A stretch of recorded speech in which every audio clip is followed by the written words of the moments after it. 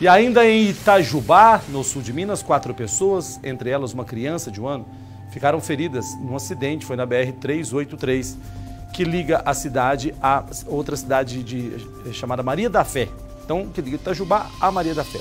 Segundo os bombeiros, o carro em que elas estavam bateu de frente com outro veículo e as vítimas ficaram presas às ferragens. Elas foram socorridas com ferimentos leves e levadas com a ajuda do SAMU para o hospital. O nome das vítimas não foi divulgado e ainda de acordo com os militares, os ocupantes do outro veículo envolvido na batida foram socorridos por populares. A causa é investigada. Mas de cara dá pra ver ali, ó, faixa contínua e bateram de frente. Alguém errou a mão. Nas fotos dá pra ver ali é, o acidente e na imagem de vídeo que aparece chovendo bastante no local.